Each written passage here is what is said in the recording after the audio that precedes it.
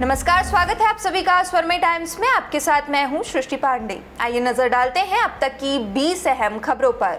महागठबंधन मंत्रिमंडल से संतोष मांझी ने दिया इस्तीफा। जितन राम ने कहा था, नहीं छोड़ेंगे सीएम नीतीश का साथ। पीएम मोदी ने बांटे सत्तर हज़ार नियुक्ति पत्र। विपक्ष पर बोले, उनका रास्ता रेड कार्ड, हमारा सेफ़ गार्ड।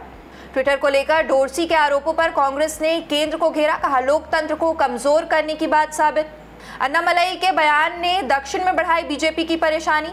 एआईएडीएमके ने दी गठबंधन तोड़ने की धमकी। केरला में पत्रकार के खिलाफ केस दर्ज हुआ तो केरल सरकार पर भड़के थरूर, कहा प्रेस की स्वतंत्रता को खतरा, आहत हूँ। महाराष्ट्र में एनसीपी नेता शरद पवार ने सांसद सुनील तटकरे को सौंपी बड़ी ज़िम्मेदारी, बनाया एएनसीपी का राष्ट्रीय कोषाध्यक्ष। तमिलनाडु के सीएम स्टालिन का अमित शाह पर पलटवार, बोले अन्य राज्यों के देखे तमिलनाडु को कम धन दे रहा केंद्र।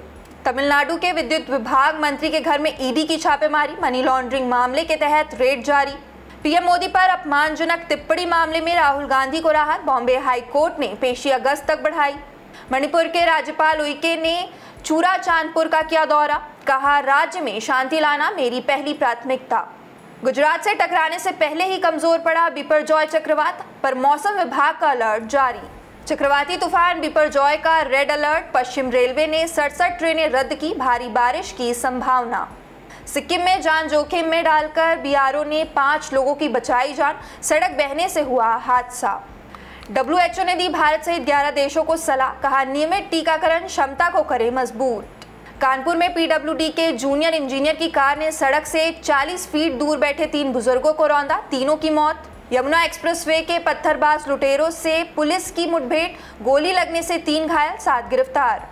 भोपाल के सतपुरा बिल्डिंग में नौ घंटे धधकती रही आग, चार मंजिल खाक, दमकल के तीस वाहनों वायुसेना की मदद से पाया गया काबू। सीरिया में क्रैश हुआ अमेरिकी हेलीकॉप्टर 22 घायल कारणों की तलाश के लिए जाँच रहे एक्सपर्ट्स। पीएम मोदी के दौरे से अमेरिका उत्साहित, एंटनी ब्लिंकन बोले, दोनों देशों के संबंध अद्वितीय। पाकिस्तानी फौजी अफसर आतंकी संगठन के साथ जुड़े। सरकार की नीतियों से नाराज़ हैं जवान। देश प्रदेश की तमाम अहम खबरों से जुड़े रहने के लिए इस वीडियो को लाइक और शेयर करें। साथ ही हमारे चैनल को सब्सक्राइब करना ना भूलें।